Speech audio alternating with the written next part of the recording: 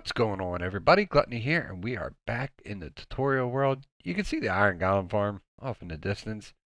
But look at this. So I figure we've been working with the villagers. We did the breeder. We did the farm. So now maybe a little understanding of who the villagers are and what they do.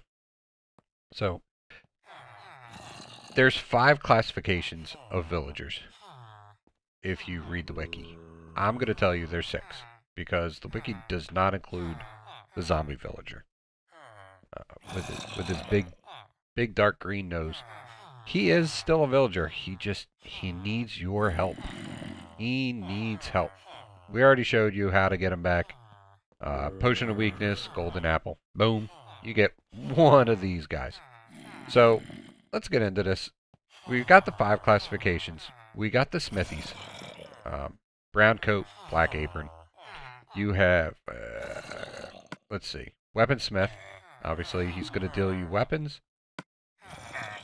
Toolsmith. And the armorsmith. Now, the armorsmith is good. You can get an armorsmith that will trade you for a diamond chest plate. And that's just awesome. Uh, yeah, I trade with these guys sometimes. Sometimes it's cool. Most of the time, you're just better off doing your own enchants on your weapons and tools. But, I mean, it's nice to get the villagers unlocked, get their trades unlocked. See what else they have. Librarians and clerics. Now, in my opinion, the librarian is probably the most valuable of villagers there is. You know, you're going to get all your enchantments from him. Uh, all your enchanted books. And he's easy to make money with. Uh, if you have a sugarcane farm, they'll trade paper. He, he's got an outstandingly awesome trade of, of 25. Usually you're going to see a trade of about 27 sheets per emerald. Uh, Smite 3 sword, not too bad. Not too bad. Or a Smite 3 book, I should say. Um, clerics are good money makers. You can get to the point where they have bottles of enchanting and glowstone, stuff like that. I guess it's kind of cool, but really it's... If you can get a zombie spawner, it's the rotten flesh trade that you're going to want. Um, yeah, it's just an easy way to make emeralds. Under our next, we have our butcher. Uh, deals in raw meats. You know, good if you got a chicken farm or a cow farm, and they're they're generating. But yeah, you can live without them. But the guys that are gonna bring you the most joy and function in your village or your town or just your survival area, whatever you're building, are the browncoats, the farmers. And there's four different farmers. You have the actual farmer, who obviously trades you wheat, potatoes, carrots for emeralds. You can buy bread. Uh, eventually, he'll trade you for emeralds for pumpkins or melons. You have the shepherd. Nah, kind of crappy trades. Fletcher, again, kind of crappy trades. Fisherman, one more time, crappy trades. But the real key to these guys is they'll plant crops for you. You can take this guy and we uh let's see, let's get some dirt. And we're gonna need a we're gonna need a diamond hoe because yeah we can. Why not? Um what else do we need? Where is it? Food. We're gonna need wheat seeds okay and we are gonna go up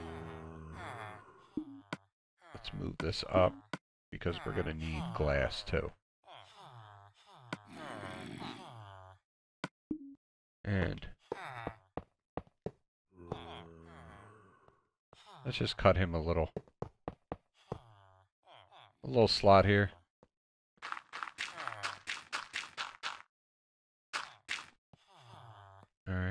Let's do it for all of them.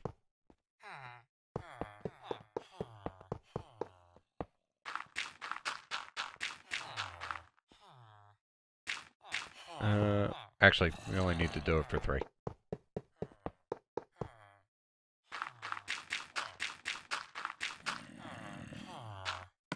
And we will need a bucket of water to irrigate the ground.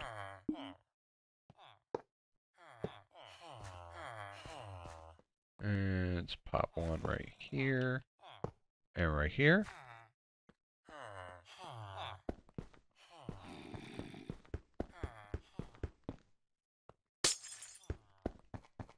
Building a creative is so easy. And so fast. Now, each villager has, uh, I, I want to say it's seven inventory positions.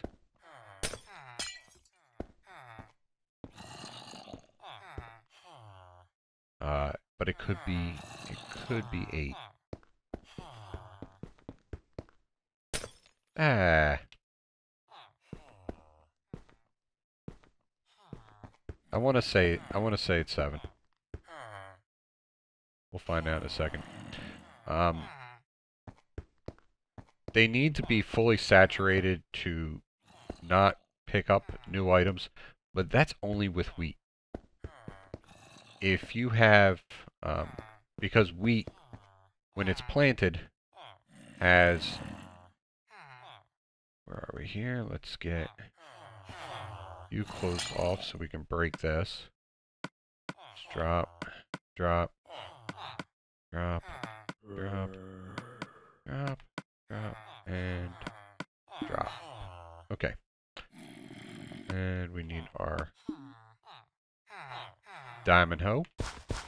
Because creative is the only time you should make a hoe using a diamond. Alright, there he goes. We're going to box him off, box him off. And let's get a stack of... Where's food? There we go.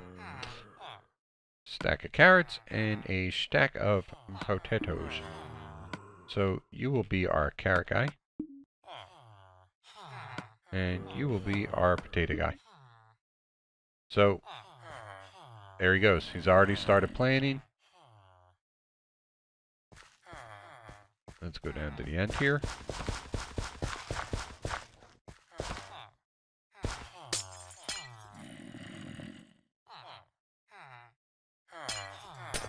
And doop doop doop doop doop doop doop doop doop doop doop doop. All right. Those guys, when uh, I guess when they stop being in the mood, get away, get away, go work. Um, they'll start planning as well. Now, why would you want to do this? Obviously, you can make money off of it. Uh, because uh, this guy will trade for wheat, carrot, and potatoes. Give you emeralds. But also, to make a true village breeder, you know, a self-sustained, it's just gotta keep reproducing all the time. You need a wheat farm in there. Or carrots, or potatoes. And you can see there's a fresh one there. There's a, a brown, solid brown coat in here somewhere. And he's picking the wheat. He's replanting. And he's feeding the other ones. So, we went over it in the breeder. Um, but the mechanics for breeding, you need doors. And they have to be willing. Just because there's hearts doesn't mean they're willing. For them to be willing, they have to be they have to be fed. You you have to feed them. And to feed them, you either need three pieces of bread made from wheat. You need 12 carrots. See, he's trying to throw, they're trying to throw the stuff to each other. Because they, they're trying to get one another in the mood. Um, so he's planning because he doesn't have bread. So he's planning wheat to make bread. Which I would love to know how they do it because he doesn't have a crafting table. Tell me your secrets. Tell me. Um, this poor guy. So, did you throw that to him? Oh, I left that open, yeah. Well, he now has carrots in his inventory. See? He's trying to throw them back. Can I pick can I pick the carrots up? Um, where are we? So, yeah. Three bread, 12 carrots, or 12 potatoes. And they will they will start to breed. Oh, he's loading this guy up. Crap. Let me get this. Let me make it so you can't see each other. Oh, that was my bad. So now their inventories are tainted. Uh, he's got carrots and potatoes. He's got carrots and potatoes. He's got carrots and wheat. So if we needed to get, say we wanted to make a wheat farm, like full automated wheat farm with the minecart underneath, we would have to purge his inventory, which would suck. We would actually have to take him far off, put him in an area of tilled grant, tilled land, and let him plant. And then we would have to go rip it up and collect it until he got to the point where he wasn't planting anymore. And maybe we'll save that for the next tutorial. Yeah, I think that's a good idea. I think we'll show you how to purge the inventory. Let's put him in there.